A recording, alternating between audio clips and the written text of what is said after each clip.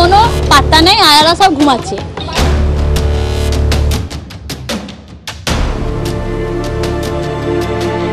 ভিতরে ঢুকিয়ে তিরিশ জন গুন্ডা ভিতরে তিরিশ জন গুন্ডা আমার ভাইকে আর আমার দাদাকে এই আমার স্বামীকে দুজনকে মারছে। তো আমরা ভিতরে ঢুকে গেছি আমাদেরকে বলছে তোদেরকে মেরে ফুটিয়ে দেবো আয়াদের দিয়ে তোদেরকে মারবো।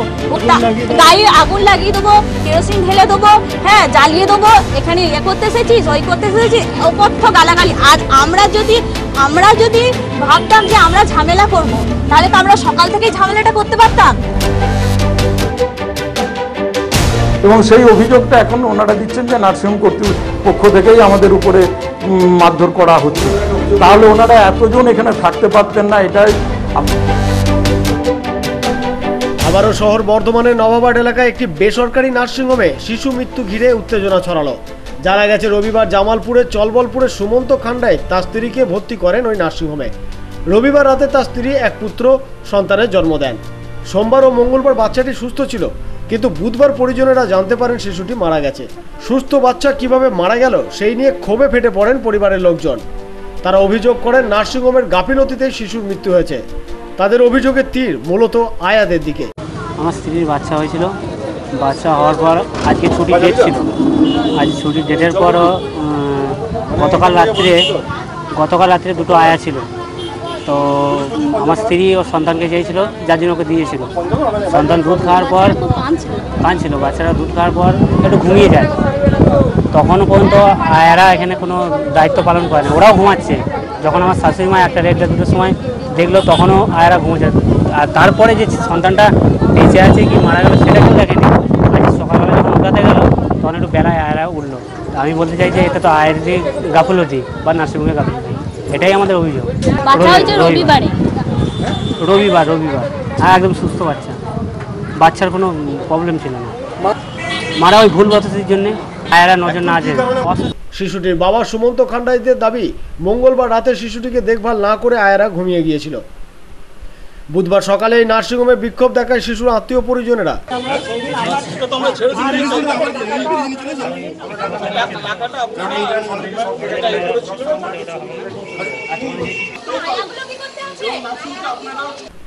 অভিযোগ, এই সময় হাসপাতালের লোকজন রোগীর পরিজনদের মারধর করে। মারতে মারতে তাদের হাসপাতাল থেকে বেরও করে দেওয়া হয় বলে দাবি জানায় তারা।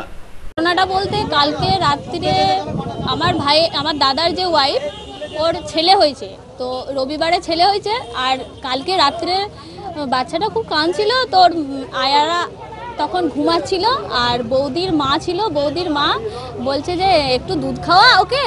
তো ওর কাছে দিয়েছে মতো অবস্থায় আয়াদের কোনো পাত্তা নেই, আয়ারা সব ঘুমাচ্ছে। তো এবার ও সিজারের যেহেতু বাচ্চা হয়েছে, তাহলে ও তো একটু তো অসুস্থতা থাকবেই। সকালবেলায় উঠে দেখেছে যে কি বাচ্চাটা আর কোনো সাড়া নেই। বডিটা ঠান্ডা হয়ে গেছে। তখন আমার ভাই আমাকে ফোন করল, দিয়ে বলছে যে এরকম অবস্থা ওটিতে ঢুকিয়েছে। ওটিতে ঢুকিয়েছে, তার ঘন্টাখানেক পর ফোন করছে যে বাচ্চাটা মারা গেছে। এবার বাচ্চাটা অ্যাকচুয়াল যাদের দেখভাল করার দরকার, যাদেরকে রাখা হয়েছে দেখভাল করার জন্য, তারা যদি প্রপার তাদের ডিউটিটা পালন করতো আমার মনে হয় এরকমটা হতো না। কারণ কি বাচ্চাটা হয়েছে, সুন্দর বাচ্চা, তিন কিলো দুশো ওজন হয়েছে। বাচ্চা সুস্থ, স্বাভাবিক, একবারে ছটফটে। সেই ক্ষেত্রে রাত্রে ওদের শুধু কেয়ারলেসের জন্যে বাচ্চাটা মারা গেল। ওরা স্বীকারও করেছে। উপরন্ত আমাদের জানা, কারণ জানার জন্য যাওয়া হয়েছে। সেখান থেকে আমাদেরকে মেরে, ধরে, বার করে, ফোন কেড়ে, তারপরে ইয়ে গাড়ির চাবি কেড়ে, এখানে মার আমার হাজব্যান্ডের গেঞ্জি ছুঁড়ে দিয়েছে। হসপিটালের লোক নার্সিংহোমের লোক। হসপিটাল না, নার্সিং নার্সিংহোমের লোক অবশ্যই আমার হাজব্যান্ডকে ঢুকিয়েছে আর আমার দাদাকে ঢুকিয়েছে। বলেছে, আপনারা কি বলছেন বলুন। ওদেরকে বলছে, টাকা দেবো। তখন ওরা বলছে, আমরা টাকা চাই না, আমরা আইনের পথে যেতে চাই মার ভিতরে আমি, আমার দিদি আর পিসিমণি বাইরেটাই ছিলাম। ওদের যেখানে মানে ভিতরে ঢুকিয়ে তিরিশ জন গুন্ডা, ভিতরে তিরিশ জন গুন্ডা, আমার ভাইকে আর আমার দাদাকে, এই আমার স্বামীকে, দুজনকে মারছে। তো আমরা ভিতরে ঢুকে গেছি, আমাদেরকে বলছে, তোদেরকে মেরে ফুটিয়ে দেবো, আয়াদের দিয়ে তোদেরকে মারবো। ওখান থেকে একবারে ঘাড় ধাক্কা দিয়ে আমাদের সব বাইকে বাইরে বার করে এখানে একজনকে, আমাদের একজনকে এমন মেরেছে, তাকে মনে হয় মানে ডাক্তার দেখাতে হচ্ছে। হসপিটালে নিয়ে গেছে তাকে। তার এমন সিচুয়েশন এমন মেরেছে সবাই মিলে। গায়ে আগুন লাগিয়ে দেবো কেরোসিন ঢেলে দেবো হ্যাঁ জ্বালিয়ে দেবো এখানে ইয়ে করতে এসেছিস ওই করতে এসেছিস অকথ্য গালাগালি। আর আমরা যদি আমরা যদি ভাবতাম যে আমরা ঝামেলা করব তাহলে তো আমরা সকাল থেকেই ঝামেলাটা করতে পারতাম। আমরা তো কিচ্ছু করিনি। আমরা শুধু একটা কথা জানতে চাইছি যে কেন এরকম হলো বা কিসের জন্য হচ্ছে? তার উদ্দেশ্যে, তার উত্তরে ওরা নাকি আমাদেরকে মারধর করছে। ঝামেলার খবর পেয়ে নার্সিংহোমে উপস্থিত হয় বর্ধমান থানার পুলিশ। পাশাপাশি নার্সিংহোম ওনার্স অ্যাসোসিয়েশনের কর্তারাও এসে উপস্থিত হন। পুলিশ, নার্সিংহোম কর্তা রোগী পরিজনরা দফায় দফায় বৈঠক করে পরিস্থিতি স্বাভাবিক করে। পুলিশের সামনেই নার্সিংহোম কর্তাদের সঙ্গে রোগীর পরিজনদের তীব্র তর্কাতর্কি করতেও দেখা যায়। যদিও হাসপাতাল কর্তৃপক্ষ এই অভিযোগ সম্পূর্ণ অস্বীকার করে। তাদের দাবি শিশু মৃত্যুতে তাদের কোনো গাফিলতি নেই। কিন্তু ঠিক কী কারণে শিশুর মৃত্যু ঘটেছে সে বিষয়েও কোনো সঠিক তথ্য প্রমাণ দিতে পারেনি নার্সিংহোম কর্তৃপক্ষ। এখানে একটা সিজার হয়েছিল ডেলিভারির বাচ্চা হয়েছিল। সেই বাচ্চা সুস্থও ছিল, সব রকমই। নার্সিংহোম কর্তৃপক্ষকে বাচ্চার মা এবং বাচ্চার দিদা জানিয়েছে যে বাচ্চা নড়াচড়া করছে না, কি ব্যাপার দেখুন। তারপরে দেখা যাচ্ছে যে বাচ্চা ডেথ হয়ে গেছে। এই অবস্থায় ওনারা নিজেদের যে কখন কীভাবে মারা গেছেন ওনারাও বুঝতে পারেননি। মানে শুয়ে শুয়ে বাচ্চাকে ফিট করার জন্য তার এ হয়েছে আর কি, শ্বাসনালীতে চলে যাওয়ার জন্যই মনে হয় মারা গেছে বাচ্চাটা। এটা খুবই দুঃখজনক ঘটনা। কিন্তু বাড়ির গার্জেন যারা, বাচ্চাটার বাবা, দাদু, প্রত্যেকেই তারা বাচ্চাকে নিয়ে বাড়ি চলে যাচ্ছিলেন। এবং তারা নার্সিং কর্তৃপক্ষ টাকা জমাও নেয়নি, কয়েক টাকা জমা নিয়েছিলেন। তারা বাড়ি যাওয়ার সময় সেই টাকা ফেরত দিতে যে মানবিকতার খাতিরে যে ঠিক আছে, আপনাদের যখন বাচ্চা আমরা জীবিত অবস্থায় দিতে পারলাম না, সেই জন্য সেই খরচাটা ফেরত দিয়ে দেওয়া হয়েছিল। হ্যাঁ এইখানে এসে তারাও একটা উত্তেজনার পরিবেশ তৈরি করে। সকাল থেকে সেই উত্তেজনা, এখানে ধাক্কাধাক্কি স্টাফদের মারবো মালিককে মারধর করব, এরকম একটা পরিবেশ তৈরি করেছিল। এবং সেই অভিযোগটা এখন ওনারা দিচ্ছেন যে নার্সিংহোম কর্তৃপক্ষ থেকেই আমাদের উপরে মারধর করা হচ্ছে।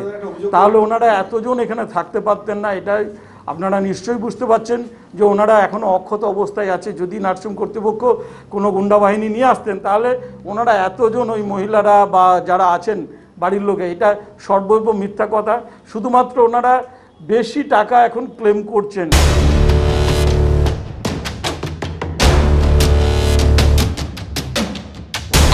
কোনো পাত্তা নেই আয়ারা সব ঘুমাচ্ছে।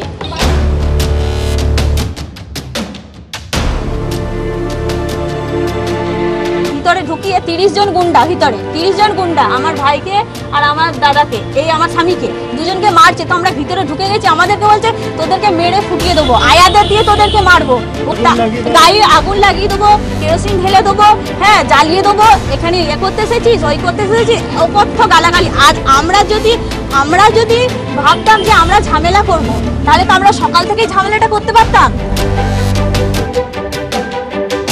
এবং সেই অভিযোগটা এখন ওনারা দিচ্ছেন যে নার্সিংহোম কর্তৃপক্ষ থেকেই আমাদের উপরে মারধর করা হচ্ছে। তাহলে ওনারা এতজন এখানে থাকতে পারতেন না এটাই ব্যুরো নিউজ আনন্দ বার্তা